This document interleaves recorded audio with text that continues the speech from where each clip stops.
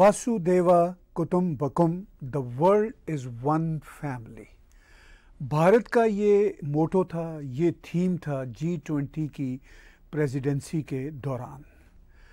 भारत के foreign minister Jaishankar ji ने जब अभी रिसेंटली न्यूयॉर्क में United Nation G A seventy eight से ख़ताब किया तो उन्होंने नमस्ते फ्रॉम भारत कहा और उसके बाद उन्होंने बताया कि भारत की एस्पिरेशंस क्या हैं? भारत का नज़रिया इस प्लानट पे क्या है? लेकिन रियलिटी ये है कि भारत इस वक्त दुनिया के लिए एक उभरती हुई ताकत के तौर पर खटक भी रहा है और दुनिया उसको टेस्ट भी करना चाहती है। फॉरेन मिनिस्टर ने बड़े ही वाज लफ्ज़ों में यूएनओ के इजलास में कहा कि दुनिया बदल रही है और जो दुनिया के डिफरेंट रूल्स सेट करने वाले लोग हैं या जो नेशंस हैं, जो स्टेक होल्डर्स हैं, वो अब डिफरेंट पर्सपेक्टिव में हैं और अब ग्लोबल साउथ डिफरेंट पर्सपेक्टिव में है। इससे पहले कि मैं इस पर ज़्यादा तफसीली बातचीत करूँ मैं चाहूँगा कि एक वीडियो क्लिप आपके साथ शेयर करूँ जो foreign minister India Jaishankar ji ने जिसमें अपनी बड़ी ही इम्पोर्टेंट बात की सुनिए ये video clip in our deliberations we often advocate the promotion of of a rules based order. From time to time, respect for the UN Charter is also invoked. But for all the talk it is still a few nations who shape the agenda and seek to define the norms. This cannot go on indefinitely, nor will it go unchallenged. A fair, equitable, and democratic order will surely emerge once we all put our minds to it. And for a start, that means ensuring that rule makers do not subjugate rule takers. After all, rules will work only when they apply equally to all. Mr. President, we must never again allow an injustice like vaccine apartheid to recur. Climate action, too, cannot continue to witness an evasion of historical responsibilities. The power of markets should not be utilized to steer food and energy from the needy to the wealthy. Nor must we countenance that political convenience determines responses to terrorism, extremism, and violence. Similarly, respect for territorial integrity and non interference in internal affairs cannot be exercises in cherry picking. बड़े clear शब्दों में जयशंकर जी ने कहा कि जो rule makers हैं, उनको rule takers नहीं बनना चाहिए। उन्होंने पूरी दुनिया की बड़ी सुपर पावर्स को ये मैसेज दिया, बहुत ही विजडम के साथ, प्यार के साथ हम्बलनेस के साथ ये मैसेज दिया कि अब दुनिया इक्वालिटी की रूल पर चलेगी।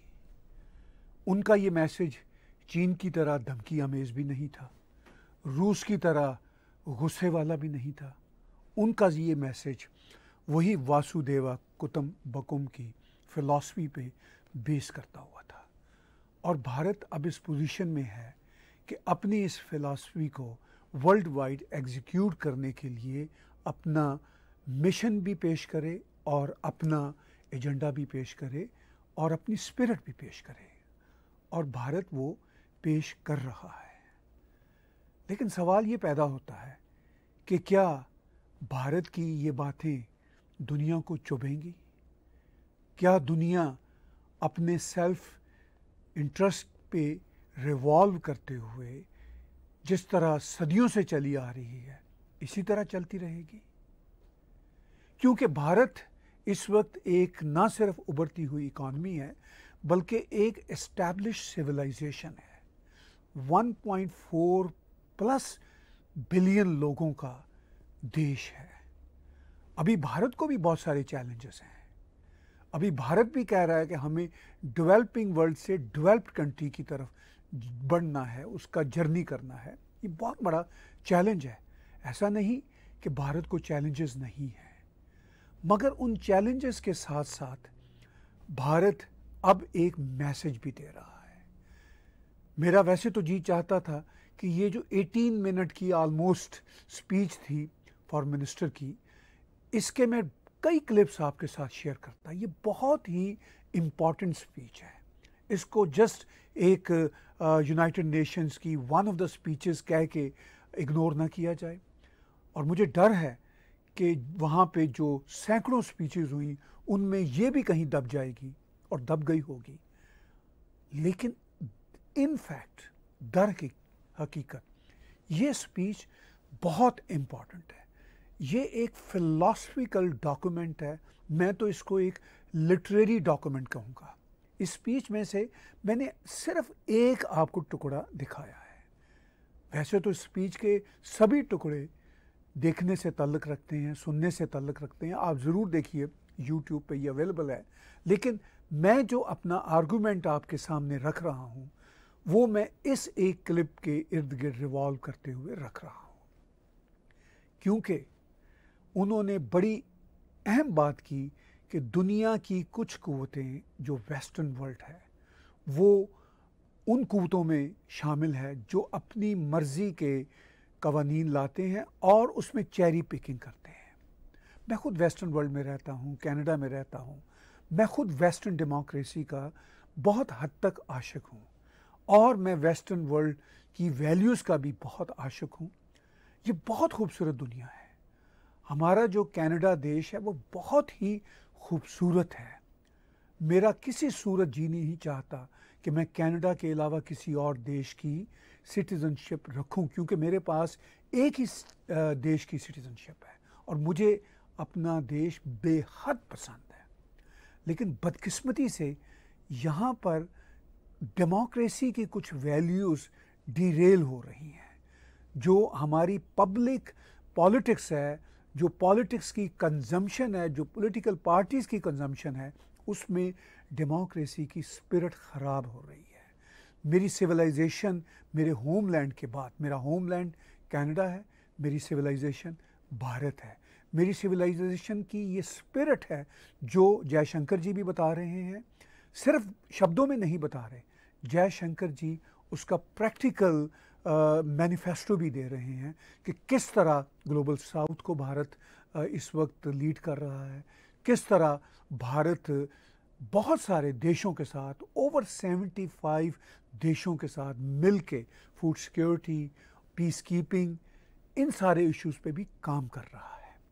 रिसेंटली जब मैंने ये सुना प्राइम मिनिस्टर जस्टिन ट्रूडो से कि उन्होंने कनाडा की पार्लियामेंट में खड़े होकर इतना बड़ा बयान दिया कि भारत के एजेंट, किसी कनेडियन शहरी की हलाकत के पीछे हैं। तो मैं दो हवालों से बहुत दुखी हुआ। एक हवाला तो ज़ाहिर है मेरे कनाडा में ऐसा होना नहीं चाहिए। दूसरा हवाला ये था कि ये मेरी जो सिविलाइजेशन है, ये इस तरह का स्टेप शायद नहीं उठा सकती। वो तो खैर इन्वेस्टिगेशन की बात है, आगे इन्वेस्टिगेशन के क्या रिजल्ट्स आते हैं, वो तो दोनों देश जाने और इस दुनिया के स्टेक होल्डर जाने।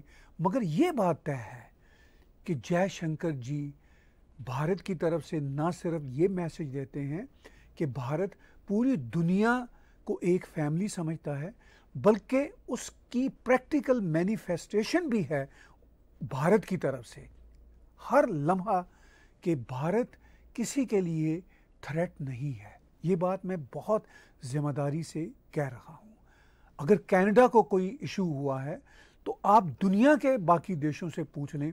दुनिया के किसी देश को ये कंसर्न नहीं है सवाए पाकिस्तान के कि भारत उनके लिए कोई थ्रेट हो सकता है।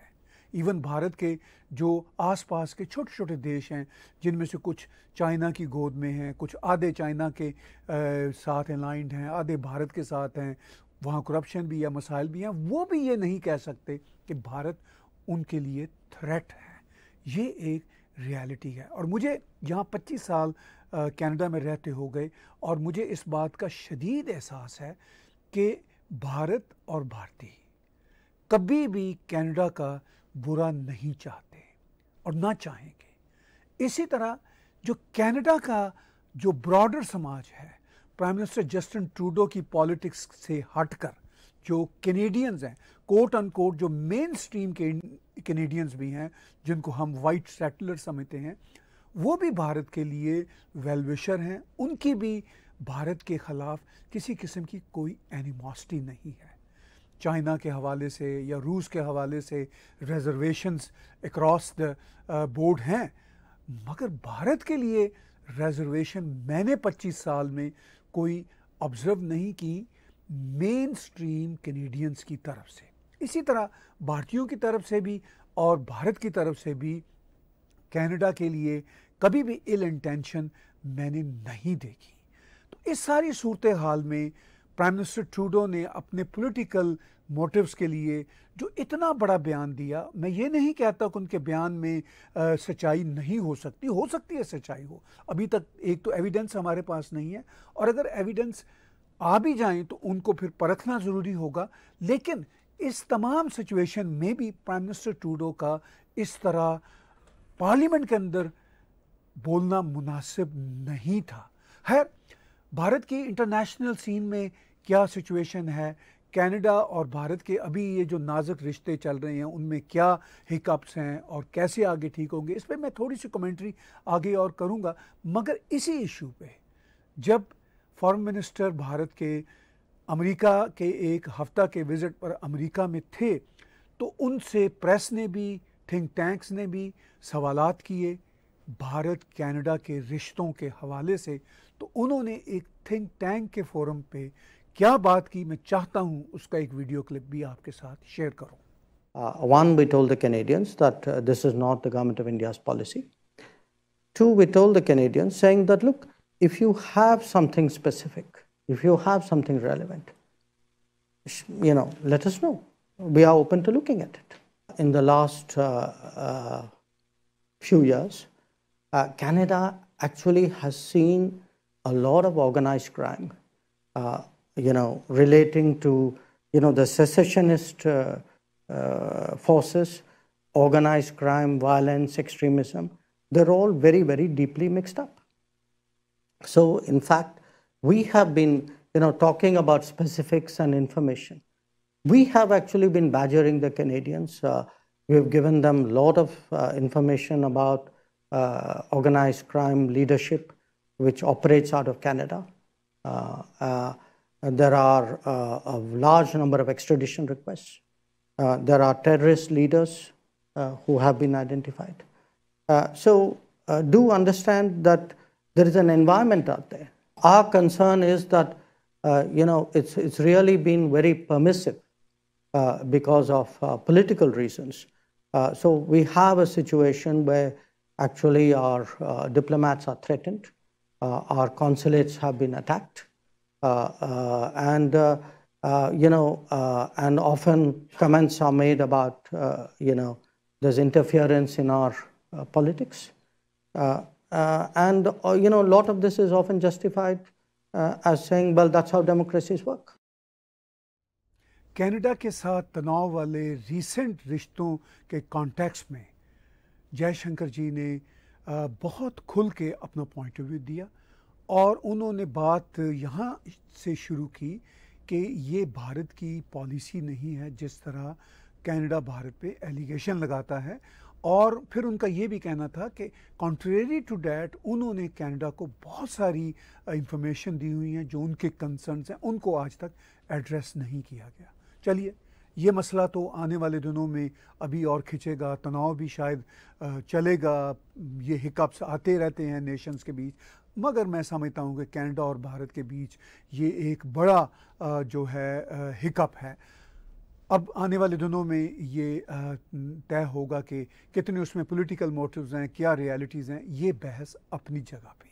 इसके बावजूद मैं भारत की अपनी जो मादरी सिविलाइजेशन है उसका भी बहुत परस्तार हूँ और जो कनाडा की डेमोक्रेसी का असल स्ट्रक्चर है उसका भी मैं आ, बहुत प्रस्तार हूँ। ये मेरे दुख के लिए बहुत बड़ा आ, मुकाम है कि कनाडा का वो डेमोक्रेटिक स्ट्रक्चर अब पब्लिक वोट कंजम्पशन के लिए और आ, वोट बैंक की पॉलिटिक्स में काफ़ी ख़राब हो गया। बट वी होप कि धीरे धीरे उसमें भी कोई ऑटो करेक्शन का अमल शुरू होगा।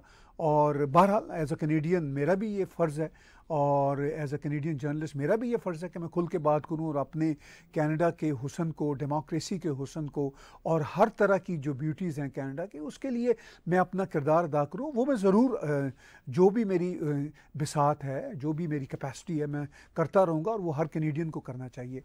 बात हो रही है भारत के इस वक्त इंटरनेशनल होराइजन के हवाले से। जी ट्वेंटी के कॉन्टेक्स्ट में हमने देखा कि जिस तरह अफ्रीकन देशों को जी ट्वेंटी का हिस्सा बनाया गया, जिस तरह बड़े बड़े काम हुए, फिर वो जो Bharat, middle east, America, Europe का कॉरिडोर बनने का जो ऐलान हुआ, जो बहुत प्रैक्टिकल है, ये बड़ी बड़ी अचीवमेंट्स हैं।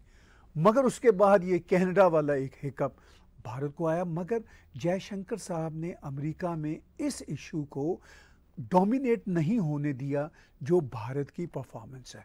क्वाड की मीटिंग में उन्होंने शिरकत की, उनकी बायलैटरल मीटिंग भी एंथनी बलिंगटन से हुई और जय जो जो मिस्टर सोलोवान हैं उनके साथ भी उनका मीटिंग का मामला हुआ। ये सब बातें अपनी जगह पे भारत की जो अपनी छवि है या जो अपना जेस्चर है या जो अपनी पोजीशनिंग है, वो अब बहुत डिफरेंट है।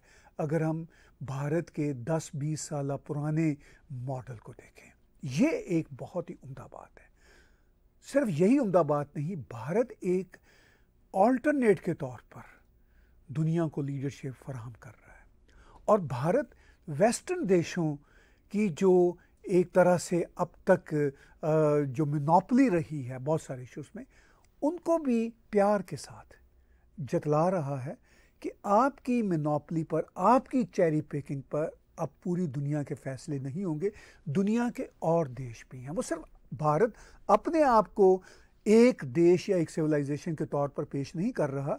वो 125 जो ग्लोबल साउथ के कंट्रीज़ हैं, जो कॉलोनाइज रहे हैं, जो इसी वेस्टर्न वर्ल्ड के नीचे चलते रहे हैं और जिस तरह वेस्टर्न वर्ल्ड की ये जो सुपर पावर्स हैं, उन देशों में जिस तरह का बंदा आज भी लाना चाहते हैं हेड ऑफ़ द स्टेट ले आते हैं तो ये सब बातें तो बहरहाल गलत हैं।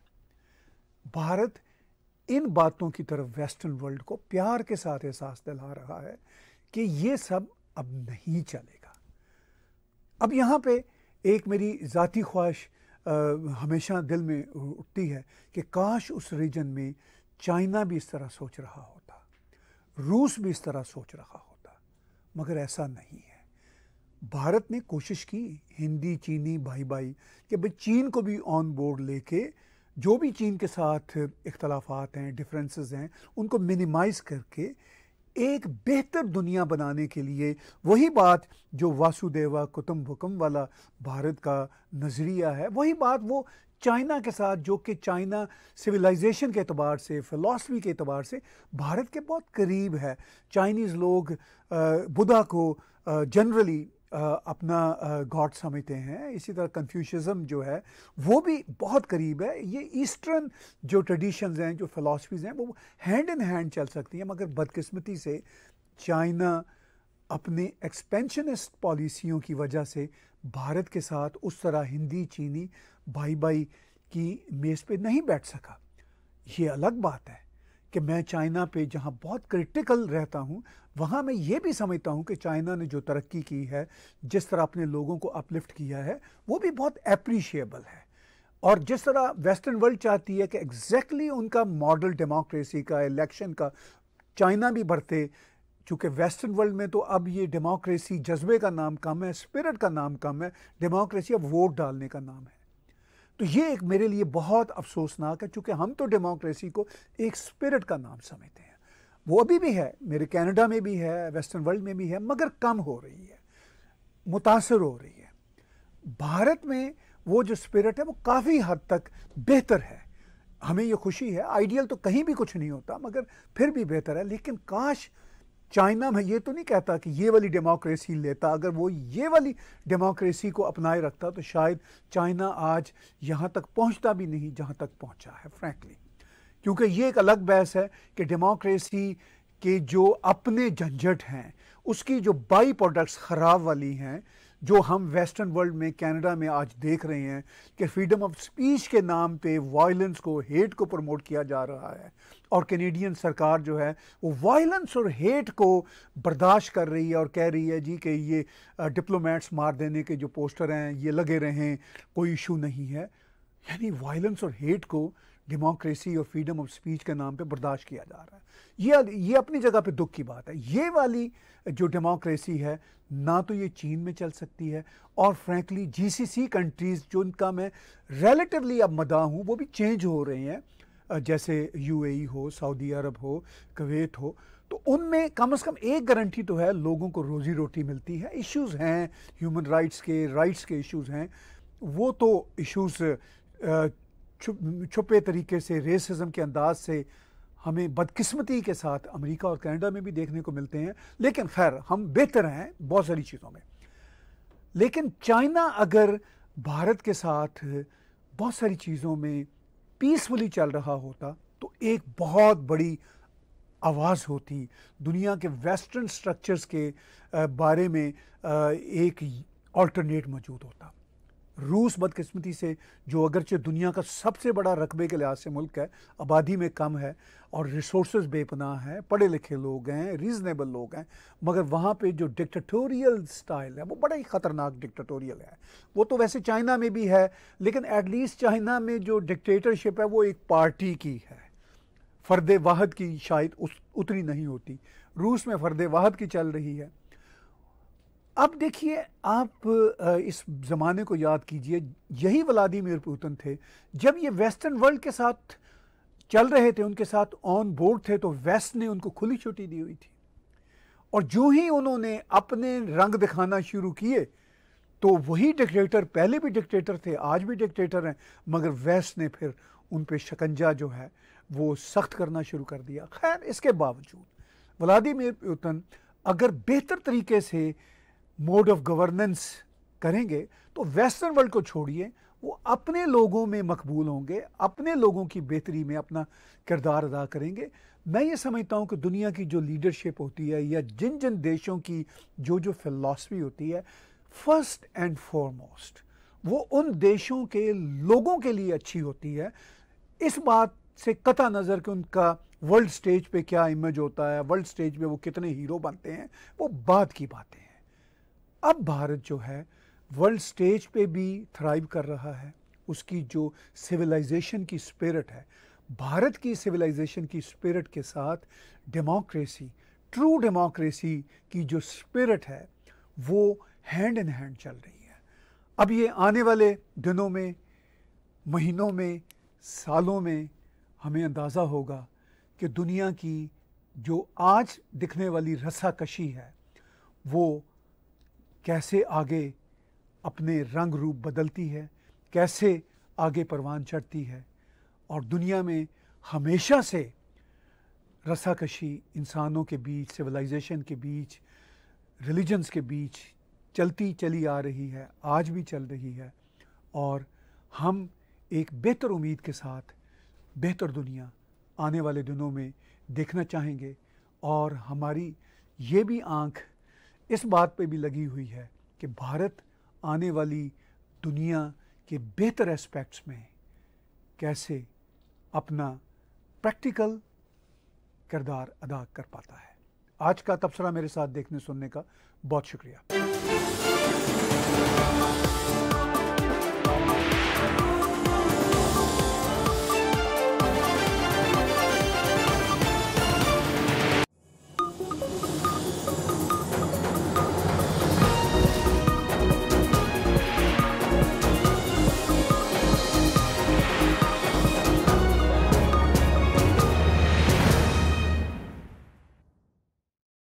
Subscribe Tag TV YouTube channel and press the notification button.